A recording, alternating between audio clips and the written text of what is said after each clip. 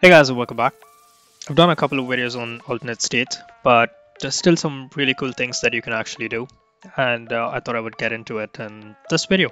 So, uh, what do we want to do? Well, I have two graphs here, which are for the two different states that I have, that's state one and state two. And here I have a combined view. So in this case, what I want to do is different set operators, right? Like for example, I can do an intersection, I can do a union, I can do an exclusion. So how to incorporate set operators in your alternate states. For example, in this case, I've configured it for it to be uh, intersection for now. That is, whatever I select here, so here I select Australia and Bhutan and uh, Canada and China essentially what's happening now is the selections that I've made in state 1 and the selections that I've made in state 2 has been combined because this is a union of the two. So just a different way to analyze things, right? Maybe you want to compare them at the same time you want to have one shot which is uh, either a union or intersection or whatever. So how to use those kind of different set operators? Let's have a look. Well, so let's start from scratch. I've created a new bar chart here. The dimension is country and the measure is, let's say, sum of sales amount. Good. And we're going to apply the states. That is state one. And I'm going to say union. Well, it's just super simple adding the set operator between the two different states.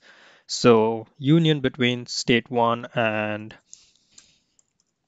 state two. So essentially I'm saying whatever selections is made here, union it with the selections of state two. Apply and now we get our union. What if we want to change it? What if we want to make this our, well, an intersection? So I'm going to change this one to an intersection here.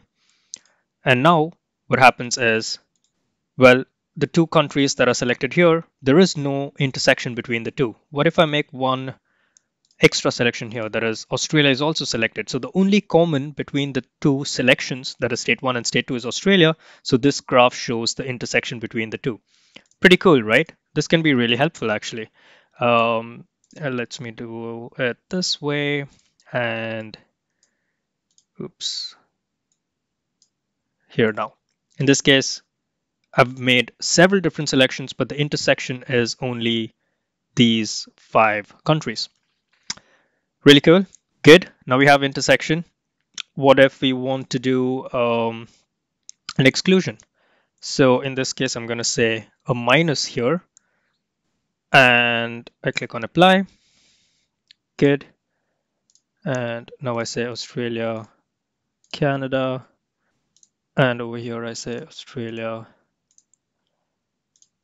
so over here, what I'm bringing in is I'm bringing in all that is in state one, except those that are also included in state two.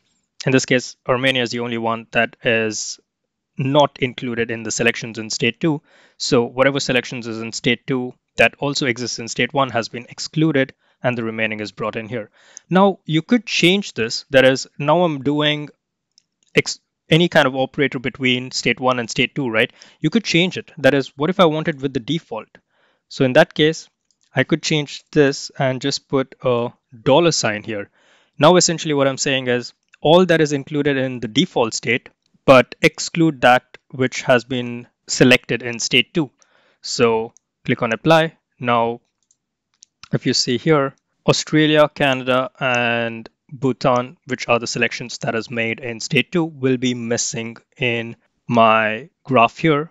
And even though only three countries are selected in state 1, all of it has been selected here. Why is that? Because, well, there are no selections made here, right? Now, if I make a couple of selections here, we see that, so all the selections made in the default state excluding the ones that are made in state 2. So instead of comparing two different states, if you want to compare one state with the default state, then you could replace it with the dollar and you would get the same kind of results. Pretty cool, right? Well, I have all these different formulas written down with the set operators and how they actually function in the Qlik Sense cheat sheet. So check it out. People absolutely loving it. Check out the masterclass. Um, all the links below. Please leave a like. Super appreciate it. And see you in the next one. Peace.